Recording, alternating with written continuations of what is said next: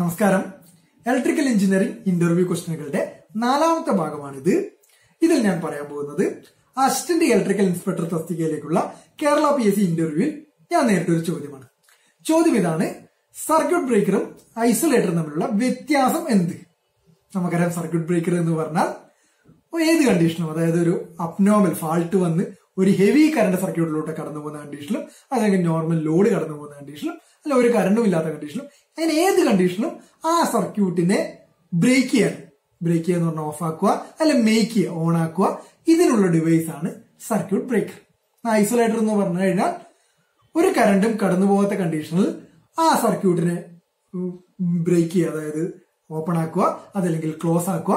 ഇതിന് ഉപയോഗിക്കുന്ന ഡിവൈസ് ആണ് ഐസൊലേറ്റർ ഐസൊലേറ്ററിൽ നമ്മളൊരു കറണ്ട് കടന്നു പോകുന്ന കണ്ടീഷനിൽ ഐസൊലേറ്ററിനെ നമ്മൾ ഓപ്പൺ ആക്കി കഴിഞ്ഞാൽ അവിടെ ഒരു ആർക്ക് ഉണ്ടാകും. ഐസൊലേറ്റർ അകന്ന് പോകുമ്പോൾ അവിടെ ഒരു കറണ്ടുള്ള കണ്ടീഷനിൽ ഒരു ഹൈ വോൾട്ടേജ് ഗ്രേഡിന്റെ അവിടെ ഡെവലപ്പ് ചെയ്യുകയും ഈ വോൾട്ടേജ് ഇവിടെയുള്ള എയറിനെ അയോണൈസ് ചെയ്യുകയും അങ്ങനെ അവിടെ ഒരു ആർക്ക് ഉണ്ടാവുകയും ചെയ്യും.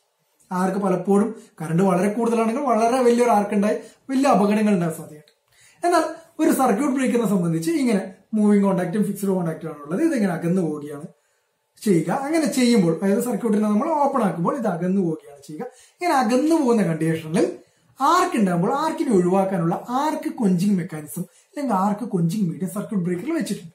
അതുകൊണ്ട് തന്നെ നമുക്ക് സർക്യൂട്ട് ബ്രേക്കർ എന്ത് ചെയ്യാം? ഏത് കണ്ടീഷനിലും ഫാൾട്ട് ഉള്ള കണ്ടീഷനിലോ ഏത് കണ്ടീഷനിലും സർക്യൂട്ട് ബ്രേക്കർ നമുക്ക് ഓപ്പറേറ്റ് ചെയ്യാം. പലപ്പോഴും സർക്യൂട്ട് ബ്രേക്കർ എന്ന് പറയുമ്പോൾ നമുക്കൊരു കൺഫ്യൂഷൻ അല്ലെങ്കിൽ ഒരു തെറ്റിദ്ധാരണ വരാൻ സാധ്യത അത് എം സി ബി ആയിട്ട് നമ്മൾ കമ്പയർ ചെയ്ത് പഠിക്കുന്നുണ്ടാണ് എം സി ബി എന്ന് പറഞ്ഞൊരു ഫാൾട്ട് വന്ന ട്രിപ്പ് ആകും. പക്ഷെ ഒരു സർക്യൂട്ട് ബ്രേക്കർ എന്ന് പറഞ്ഞാൽ ഫാൾട്ടിനെ കണ്ടുപിടിക്കാനുള്ള മെക്കാനിസം സർക്യൂട്ട് ബ്രേക്കറിൽ ഇല്ല. മറിച്ച് ഏതൊരു കണ്ടീഷനിൽ അതിനെ ഓപ്പറേറ്റ് ചെയ്യാനുള്ള മെക്കാനിസം മാത്രമേ ഉള്ളൂ. ഫാൾട്ട് വന്നോ അത് ഉണ്ടോ എന്ന് മനസ്സിലാക്കാനുള്ള സംവിധാനം നമ്മൾ പ്രൊട്ടക്റ്റീവ് റിലേസ് അല്ലെ പ്രൊട്ടക്റ്റീവ് മെക്കാനിസം എന്ന് പറയും.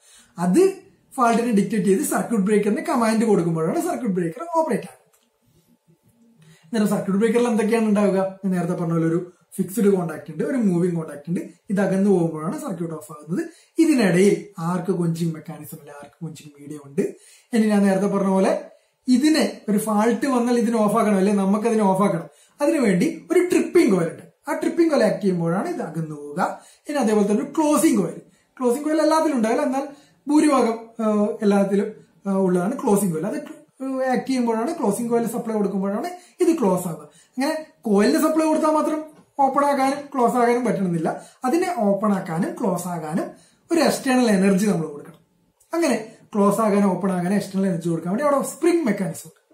അതൊരു സ്പ്രിംഗ് ഉണ്ട്. ആ സ്പ്രിങ്ങിനെ നമ്മൾ സ്പ്രിംഗ് ചാർജിങ് മോട്ടോർ വെച്ച് ചാർജ് ചെയ്ത് വെക്കും. ഇനി നമ്മൾ ട്രിപ്പ് ചെയ്യാൻ വേണ്ടി റിലേ എന്നൊരു കമാൻഡ് വന്ന് ട്രിപ്പ് ചെയ്യണം. അതല്ലെങ്കിൽ നമ്മൾ ഓഫ് ചെയ്യാനുള്ള ഒരു കമാൻഡ് കൊടുത്ത് അന്നേരം അതിന്റെ ട്രിപ്പിംഗ് കോയിൽ ആക്ട് ചെയ്യും.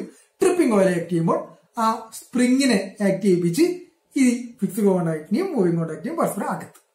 ഇങ്ങനെയാണ് സർക്യൂട്ട് ബ്രേക്കർ ഓപ്പൺ ആവുക. അല്ലെങ്കിൽ സർക്യൂട്ട് ഓഫ് ആകുക. ഇനി തിരിച്ച് അതിന്റെ ക്ലോസിംഗ് കോയിലേക്ക് സപ്ലൈ കൊടുക്കുമ്പോൾ ക്ലോസിംഗ് കോയിലിനെ ആക്ട് ചെയ്യുമ്പോൾ അതേപോലെ തന്നെ ക്ലോസിംഗിന്റെ സ്പ്രിംഗ് ആക്ട് ചെയ്യുകയും ഇത് പരസ്പരം അടുത്ത് വരികയും സർക്യൂട്ട് ഓൺ ആവുകയും ചെയ്യും. ഇങ്ങനെയാണ് ഒരു സർക്യൂട്ട് ബ്രേക്കറിൽ നടക്കുന്നത്. നേരെ നമ്മൾ മനസ്സിലാക്കേണ്ട സ്പ്രിംഗ് ഉണ്ട്. ഈ രണ്ട് മെക്കാനിസം ഉണ്ട്. സ്പ്രിങ്ങിനെ ചാർജ് ചെയ്യാൻ സ്പ്രിംഗ് ചാർജിങ് മോട്ടർ ഉണ്ട്. ചില സ്ഥലങ്ങളിൽ ട്രിപ്പിങ്ങിന് മാത്രമേ ഈ ഞാൻ പറഞ്ഞ ഓട്ടോമാറ്റിക് സംവിധാനങ്ങൾ ഉണ്ടാവുള്ളൂ. ക്ലോസിങ്ങിന് മാനുവൽ ആയിരിക്കും. നമ്മൾ എം സി ബി ഒക്കെ നമ്മൾ മാനുവൽ ആയിട്ടാണല്ലോ ക്ലോസ് ചെയ്യുന്നത്.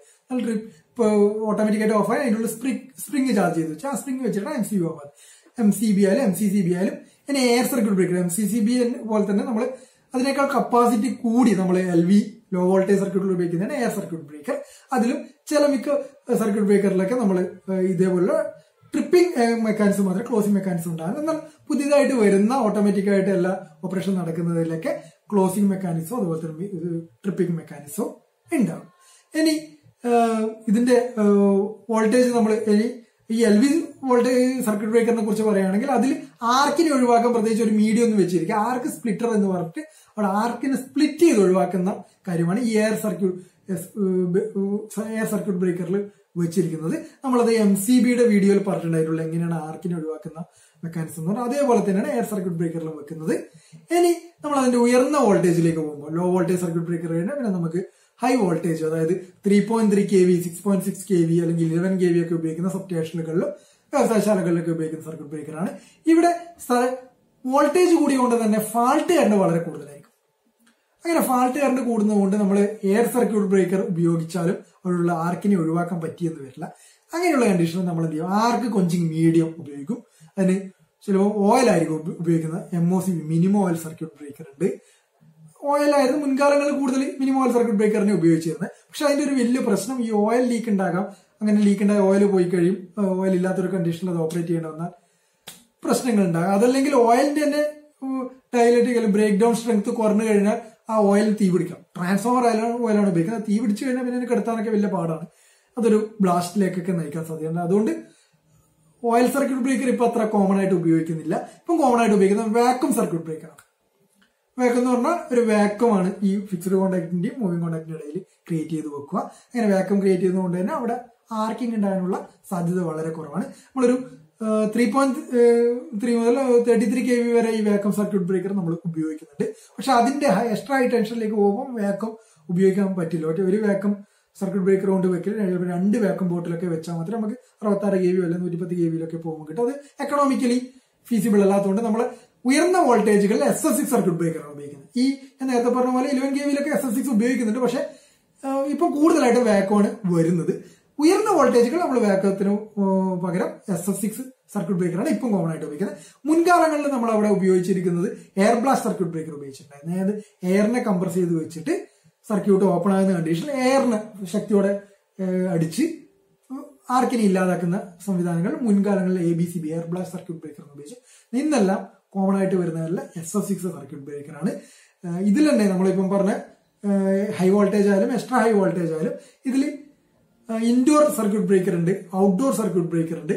കൂടുതലായിട്ട് നമ്മൾ ഇലവൻ കെ വി ഒക്കെ നമ്മൾ ഇൻഡോർ ആണ് ഉപയോഗിക്കുന്നത്. തേർട്ടി ത്രീ മുതൽ ഔട്ട്ഡോർ ആണ് ഉപയോഗിക്കുന്നത്. നമ്മൾ സബ്സ്റ്റേഷനിലൊക്കെ നമ്മൾ കണ്ടിട്ടുണ്ട് എല്ലാം ഔട്ട്ഡോർ സർക്യൂട്ട് ബ്രേക്കറാണ് ഉപയോഗിക്കുന്നത്. എന്നാൽ ഔട്ട്ഡോർ സർക്യൂട്ട് ബ്രേക്കർ ഒക്കെ ആകുമ്പോൾ നമുക്ക് ഈ സർക്യൂട്ട് ബ്രേക്ക് ഇതിന്റെ അകത്ത് ഓപ്പണിംഗ് ക്ലോസ് ആകുമ്പോൾ നമുക്ക് ഇത് കാണാൻ പറ്റില്ല. ഫിസിക്കലി കാണാൻ പറ്റില്ല. നമ്മളൊരു സാധനം ഓഫ് ആക്കിയാലും ട്രാൻസ്ഫോമർ ഓഫ് ആക്കിയാലും ആ ട്രാൻസ്ഫോമറിൽ ഒരു വർക്ക് എടുക്കണമെങ്കിൽ ഇത് ഐസൊലേറ്റ് ചെയ്ത് നമുക്ക് ഫിസിക്കലി മനസ്സിലാക്കാൻ പറ്റില്ല. അതിനുവേണ്ടി നമ്മൾ സർക്യൂട്ട് ബ്രേക്കറിന് മുമ്പേ അല്ലെങ്കിൽ ഐസൊലേറ്റർ ഉപയോഗിക്കാം അങ്ങനെ ഐസൊലേറ്റർ വെച്ച് കഴിഞ്ഞാൽ നമുക്ക് ഫിസിക്കലി കാണാൻ പറ്റും. സർക്യൂട്ടിനോ നമ്മൾ ബ്രേക്ക് ചെയ്ത് കറണ്ട് സീറോ ആക്കിയതിന് ശേഷം ഐസൊലേറ്റർ വെച്ച് ഓപ്പൺ ആക്കിയിട്ടാണ് നമ്മൾ ഫിസിക്കലി ചെയ്യുക. എന്നാൽ വേക്കം സർക്യൂട്ട് ബ്രേക്കറിലൊക്കെ ആണെങ്കിൽ ഐസൊലേറ്ററിന് പകരം നമ്മൾ ശരിക്കും നമ്മൾ ഈ സർക്യൂട്ട് ബ്രേക്കറിനെ നമുക്ക് പുറത്തേക്ക് എടുക്കാനോ അല്ലെങ്കിൽ റാക്ക് ഡൗൺ ചെയ്ത് മാറ്റി നമുക്ക് അവിടെ ഒരു ഫിസിക്കൽ സെപ്പറേഷൻ ഇലവൻ കെ വിയോ അല്ലെങ്കിൽ ഇൻഡോർ സർക്യൂട്ട് ബ്രേക്കറിലൊക്കെ ചെയ്യാൻ പറ്റും.